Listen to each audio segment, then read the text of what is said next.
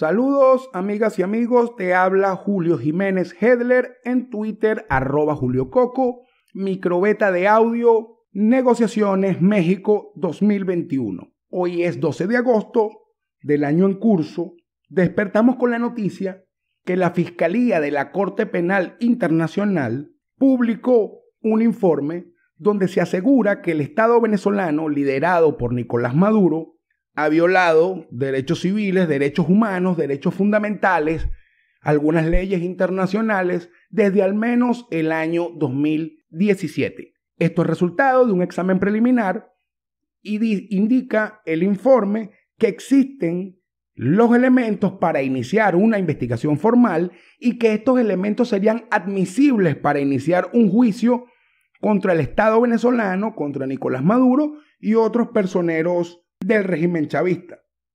Denuncia la inacción del régimen en varias áreas, confirma que hay tortura, que hay persecución, que hay presos políticos, que hay asesinatos, que hay incluso violaciones sexuales como parte de este conjunto de delitos que fueron confirmados en este informe, impone que los autores de estos, delitos son la Policía Nacional Bolivariana, el SEBIN, la Dirección General de Contrainteligencia Militar, el DGCIM, la Fuerza de Acciones Especiales, FAES, el Cuerpo de Investigaciones Científicas Penales y Criminalísticas 6CPC, la Guardia Nacional Bolivariana, el Comando Nacional Antiextorsión y Secuestro, el CONAS, y otras unidades de la Fuerza Armada Nacional Bolivariana. Importante esto no porque nosotros no sepamos que, que en Venezuela hay violaciones de derechos humanos, derechos civiles,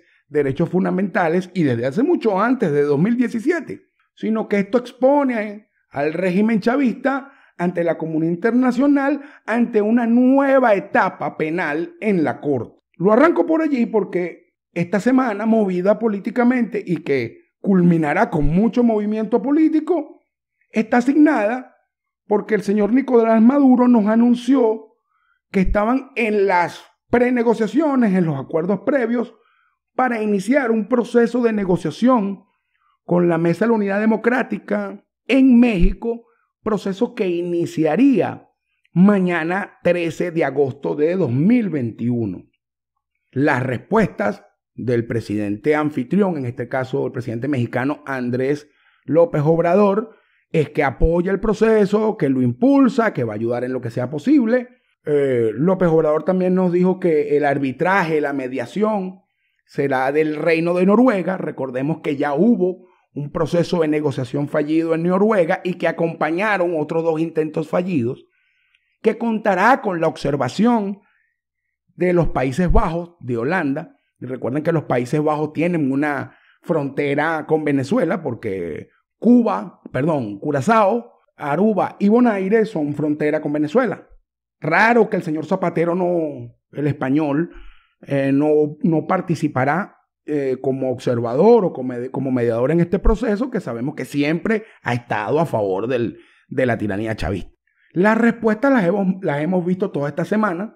Los que ya han participado en las farsas electorales del chavismo, los que llaman los alacranes, que son exmilitantes o militantes activos o es una cuestión toda rara de Primero Justicia, un nuevo tiempo y Acción Democrática que participaron en la última farsa electoral eh, legislativa y en procesos regionales anteriores, ya estaban lanzados e impulsando este proceso de negociaciones y andan en campaña electoral. O sea, incluso para esa gente no hay COVID. El COVID no existe. Una cuestión verdad. No solo es irresponsable políticamente, es irresponsable a nivel humano. El presidente actual de Fede Cámaras, Carlos Fernández, recordemos que recibieron a Delcy Rodríguez en su congreso anual de este año, anda recorriendo el país diciendo que hay que recuperar espacios, que hay que negociar, que hay que entendernos y otro conjunto de cosas, ¿no? Ayer, Enrique Capriles Radonsky dio una locución donde dijo que iba a votar, que iba a presentar candidatos a la simulación electoral próxima, que es en noviembre, y que enviaría unos emisarios a las negociaciones en México, en este caso a, Tomás Guanipa y Stalin González.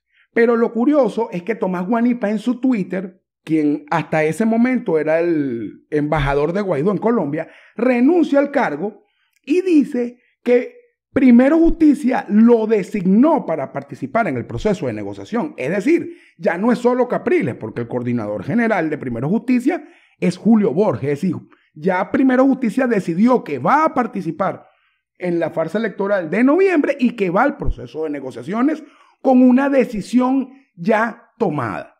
Cuando vemos lo que está pasando en los distintos pueblos y ciudades de Venezuela, hay muchos militantes de Primero Justicia, muchos militantes de AD, muchos militantes de Un Nuevo Tiempo y muchos militantes de Acción Democrática y de, perdón, de Voluntad Popular, super lanzados a las alcaldías y a las gobernaciones. A mí el que me sorprendió más, eh, Daniel Ceballos. Daniel Ceballos está lanzado y proelectoral, pro voto ah, a la gobernación del Táchira. Hasta los momentos no hay un pronunciamiento formal de voluntad popular por su parte y de Juan Guaidó por el otro, quien aunque no, aunque no tiene ninguna clase de poder en Venezuela, todavía goza del reconocimiento como presidente interino de algunos países aliados importantes, comenzando por Estados Unidos. Para eso ya hemos hecho algunas ediciones anteriores, acá les dejo el link del microbeta de las negociaciones. Ahora, ¿qué va a pasar en México? Y yo creo que más que una explicación es dejar registro con este audio. Nicolás Maduro está pidiendo que le levanten las sanciones, que lo reconozcan como presidente, que reconozcan a todos los poderes públicos, es decir, al CNE, al TSJ, a la Asamblea Nacional Constituyente, a la Asamblea Nacional esa que fue electa e ilegítima, bueno, igual que todos los anteriores, al fiscal general, al contralor, y que le liberen el dinero que está congelado en cuentas comerciales del Banco Central de Venezuela y de Petróleos de Venezuela en el extranjero para poder, bueno, usarlo, cobrar, gastar, pagar. Esto no es cumplible por estos sectores de la oposición venezolana porque el principal impulsor de las sanciones es Estados Unidos. Y aunque ha venido relajando algunas, no las va a quitar todas.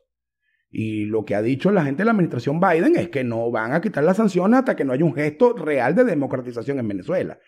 Y por su parte, hay otras sanciones por parte de la Comunidad Económica Europea que apuntan en la, misma dirección de lo que ha dicho eh, Estados Unidos. Es decir, la exigencia que hace Maduro no es cumplible. Por otro lado, las exigencias de la oposición, que es el, no sé si van a seguir pidiendo el, reconocimiento a su Asamblea Nacional, porque eso, eso no existe en ningún lado. Creo que van a volver a pedir liberación de presos políticos, que por cierto, eh, Freddy Guevara está en muy mala condición de salud, preso en el helicoide, necesita atención médica inmediata y posiblemente una, una operación. Eh, Freddy Su tiene una, una afección congénita cardíaca.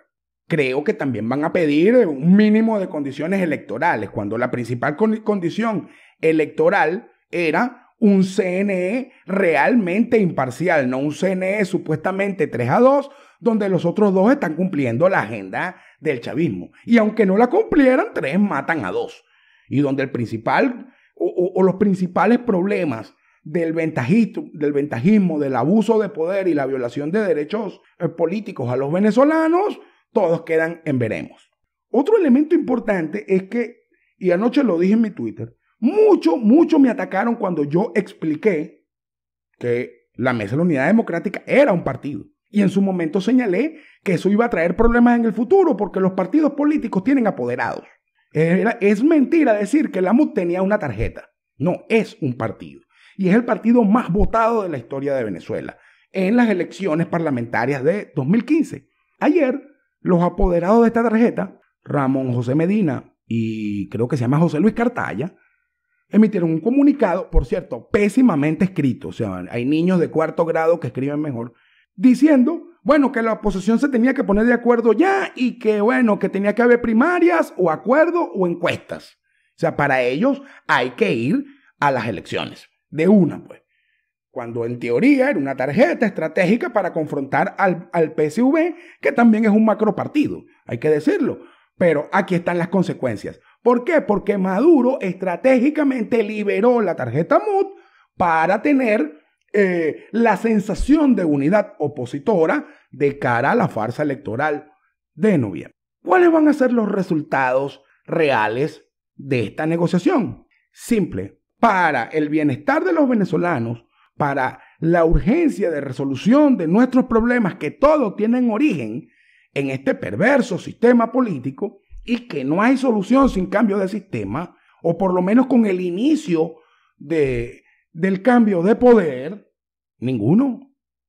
Ninguno. Porque una negociación de este tipo, las negociaciones, y, lo he explicado a lo largo de los años en mis videos y en todas mis redes sociales, son acciones de poder. Y en este momento, y oigan bien esto, donde Estados Unidos está retirando sus tropas de Afganistán y un movimiento conocido como el Talibán, que, bueno, muy famoso en Venezuela porque, porque ya la palabra talibán se hizo parte de la cultura popular, el Talibán está tomando espacios ante el retiro de tropas estadounidenses. Y ayer el señor Biden dijo que los eh, afganos tienen que resolver su asunto solos, que tienen que pelear solos, que ya está bueno. Y eso hace que el terrorismo islámico crezca en poder, en riesgos, ahora son más peligrosos y de paso están negociando con China acuerdos comerciales. Si eso es lo que está haciendo Biden con una de las organizaciones terroristas más peligrosas, perversas de la humanidad que va a quedar para Venezuela, para la FARC, para el PSV, para el sandinismo en Nicaragua o para el mismo régimen cubano. No hay amenazas de poder para que depongan su actitud. Entonces, como no hay amenaza de desplazamiento de poder ni de captura internacional contra los líderes de la tiranía chavista ni contra el Estado que ellos dirigen, más allá de las sanciones, ¿por qué Maduro debe ceder? Maduro ya no tiene ninguna necesidad de adelantar unas elecciones presidenciales, ninguna. Y ya esa solicitud es una tontería. En este momento donde ya el CNE publicó el cronograma electoral, incluso las inscripciones inician y, perdón, las, inscripciones a la farsa electoral de, de noviembre terminan el 29 de agosto. Es decir, que mañana inicia el proceso en México, pero ya tiene fecha de expiración. Expira el 29 de agosto porque pase lo que pase, se van a ir a inscribir. Entonces, ¿qué, van a negociar? Lo que están negociando realmente es quién se queda con cuál gobernación y quién se queda con cuál alcaldía. Porque en Venezuela no hay elecciones libres. Y para que hubiera elecciones libres, habría que cumplir el mismo mantra de Guaidó, que era cese de la usurpación, es decir, desplazar al chavismo del poder, gobierno de transición y luego elecciones libres. Entonces, ahora el mantra va para atrás sin elecciones libres. Yo creo que esto, esto es un absurdo, esto es una tontería que solo beneficia, solo beneficia a los que tienen intereses económicos y delincuenciales y que necesitan de la venia del régimen chavista para seguir haciendo de las suyas, porque a nosotros no nos beneficia en nada. Nada de esto es nuevo, nada de esto es sorpresivo. Pero quiero dejar hoy 12 de agosto de 2021 algo, algo sembrado.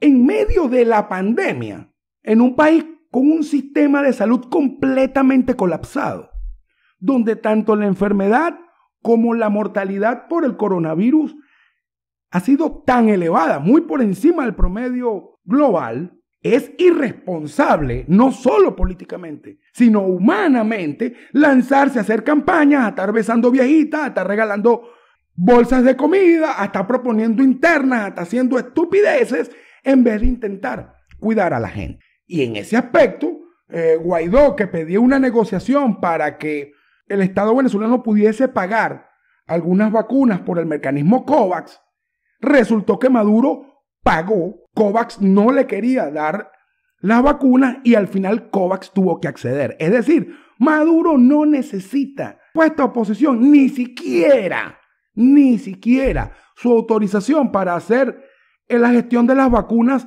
que son más baratas para, para algunos países del mundo. Maduro no está en jaque en este momento. No está estable, eso ya lo he explicado, no está, no está cómodo, eso, ya, eso también lo he explicado, pero está estabilizado. Y en el medio de esa estabilidad no hay ninguna fórmula donde sin presión real él se vea forzado a ceder algunas de las solicitudes que, que se están haciendo. Entonces, ¿qué va a salir de México? O la sumisión de todos los actores que allí participen, algunos de ellos ya están sumisos ante el chavismo, O sencillamente Maduro patea la mesa, no hay ningún acuerdo e igual va la simulación electoral de noviembre con los que quieran el reparto de la torta y sean sumisos. Es decir, aquí lo que está en juego en México, porque eh, está en México 2021, ya nosotros estamos como los mundiales o como las Olimpiadas.